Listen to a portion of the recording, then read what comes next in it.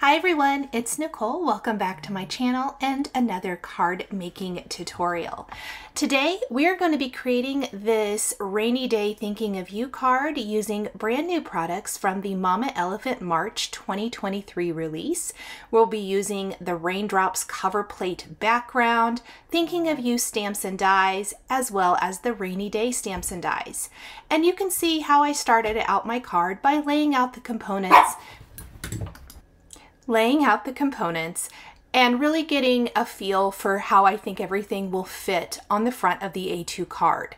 One of the benefits of the cover plates is or the cover backgrounds is that they allow you um, a really good idea of your card size since they're A2 sized. So I die cut that from some 110 pound weight Neenah smooth white cardstock and I'm going to grab my Simon Says Stamp glass mat and I am going to use some post-it tape to tape off the edge of the die from the stitching line to the outside. This is one of my go-to favorite things to do to instantly give my background the look that I have matted it when I haven't. This also keeps the layering to a minimum, which reduces bulk and makes it easier to mail a card.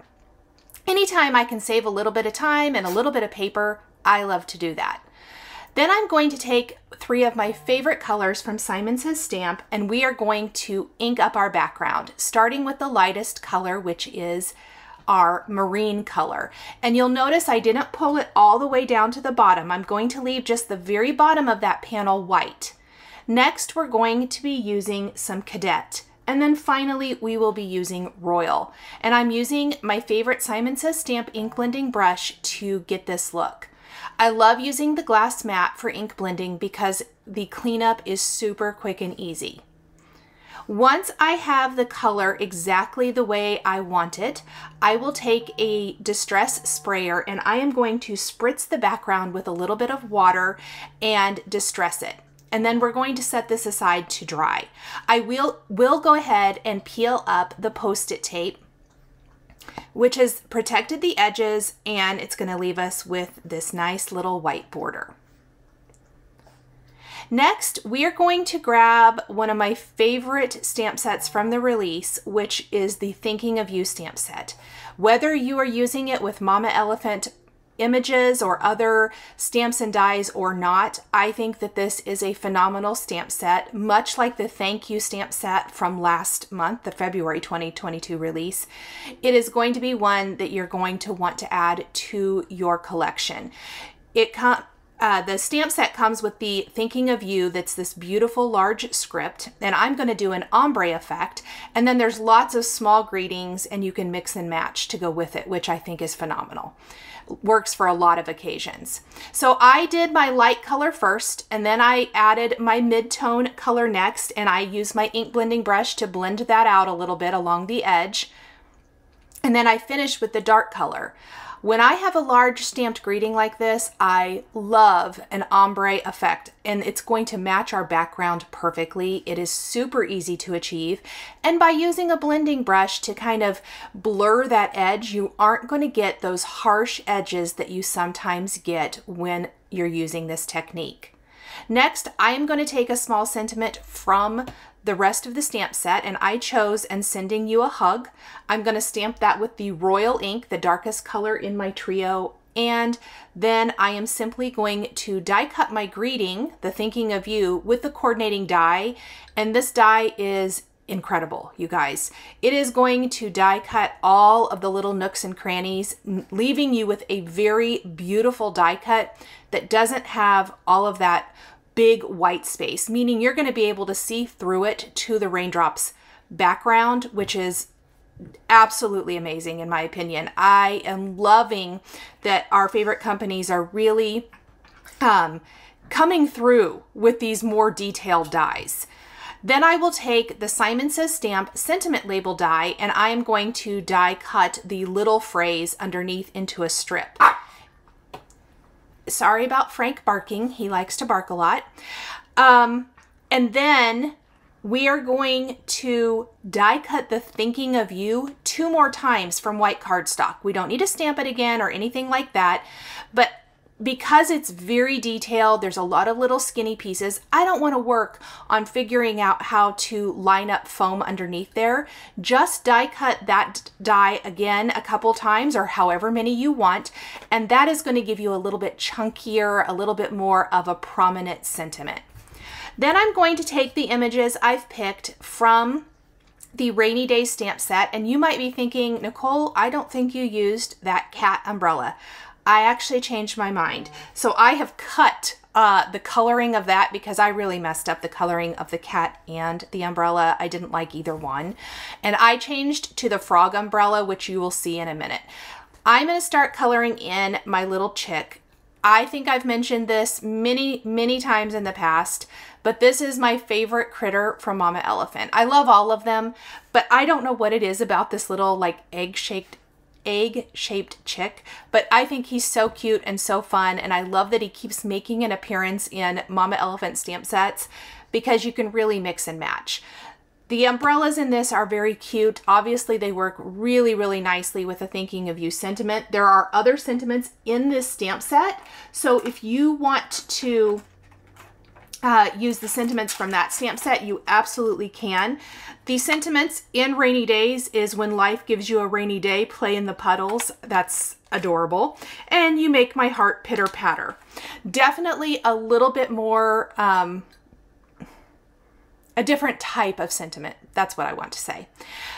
I felt like this umbrella was the perfect opportunity for a little rainbow, which is going to provide a nice pop of color. I know it's a super tiny, uh, a tiny rainbow and a tiny image, but it's going to make a big impact in the overall look and feeling of the card.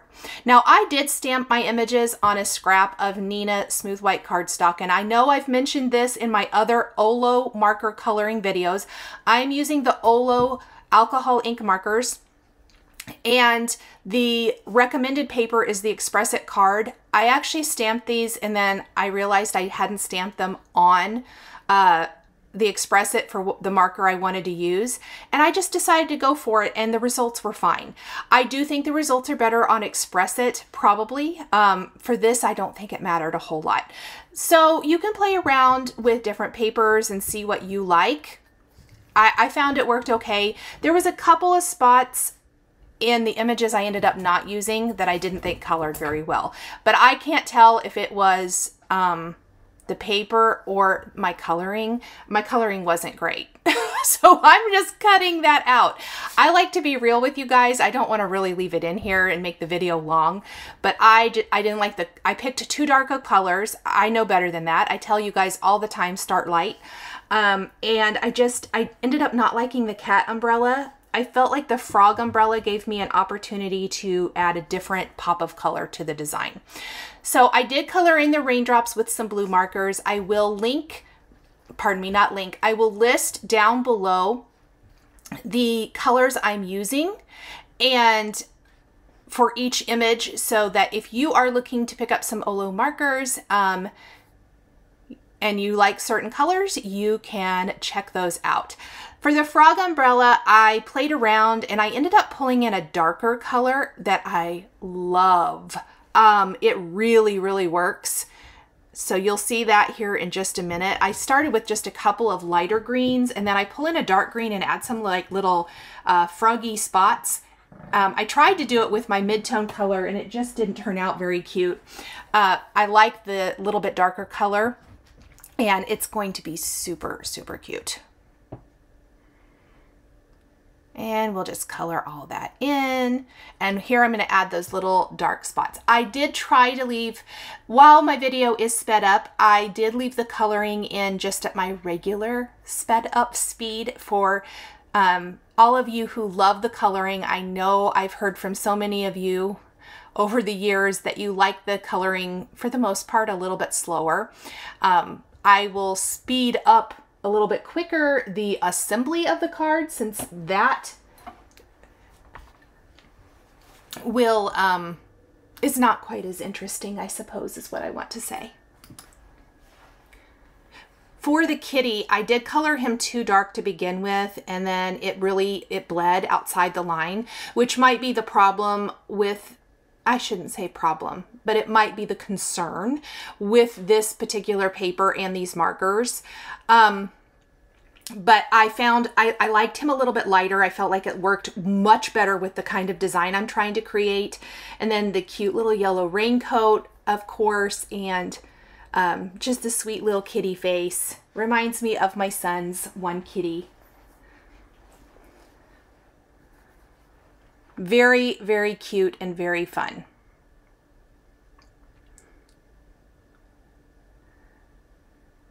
And I'm just going to work to get that color Again, much lighter than I originally planned. We're going to do like some little uh, black pants. And then instead of leaving his feet, I think the feet could either be the cat, but I made them little black rain boots, um, which I, I also liked. I thought that was fun. We will use the coordinating dies to die cut all of the pieces for um, our card here, and then we're just gonna put it all together. It is was a very quick and easy card to put together, minus, you know, a, a little bit of coloring, but this was quick coloring. It didn't take that terrible long at all.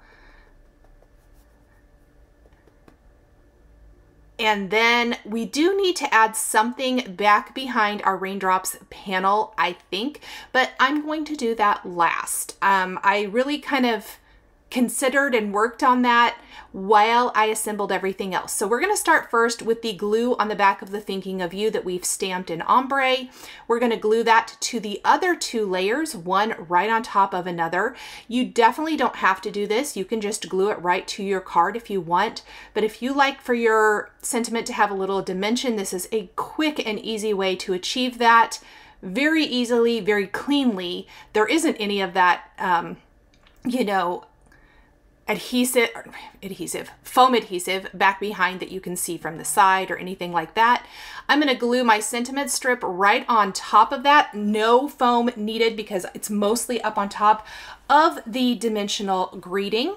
And then I'm gonna put foam back behind my critters and the umbrella and I'm gonna glue those in place to finish building this little sweet scene so cute and so fun.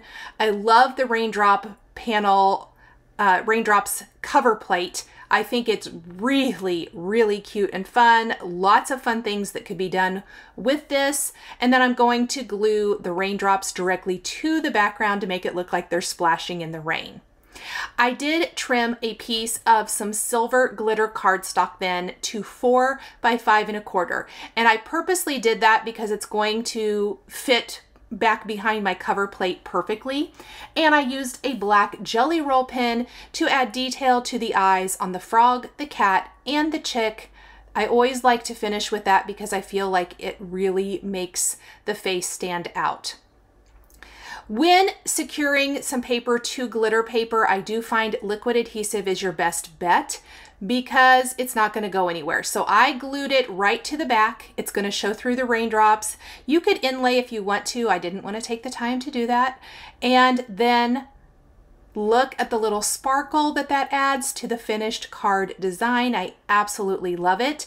And some hearts are going to be the perfect finishing detail. I picked the boiled sugar hearts. These are the clear hearts from Trinity Stamps. I love these. Uh, I feel like they add a lot to the raindrop type of feel of this.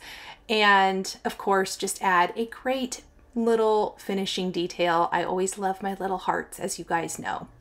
So I'm just going to add quite a few of these kind of at a diagonal. You'll see that there's some in the upper right corner moving down to the lower left. And we'll add there they go. I just love them. And when the glue completely dries, you will see through them. You won't see any of the glue or anything like that. I will attach this entire panel to a white top fold card base and our Thinking of You rainy day card is all finished.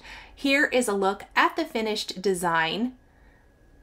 I love the dimensional detail. Thank you guys so much for joining me today for this Thinking of You card featuring brand new stamps and dies from the Mama Elephant March 2023 release. The supplies I used are listed and linked below the video here on YouTube. Thank you so much for joining me today for another paper crafting tutorial. I love being able to share with this incredible community of crafters. I want to give a huge shout out and special thank you to my amazing Patreon members. If you're interested in joining Patreon, please click the link in the description underneath the video here on YouTube. Patreon is a private community where you can support more of what I do. There's exclusive content. You'll receive a handmade birthday card from me during your birthday month, monthly lives for my top tier patrons, and more. We would love to have you join our growing community. If you enjoyed this video, please subscribe to my channel, click the like button, and don't forget to click the notification bell so you're always notified when I have a video or go live. Thank you again for watching, and I'll see you again next time.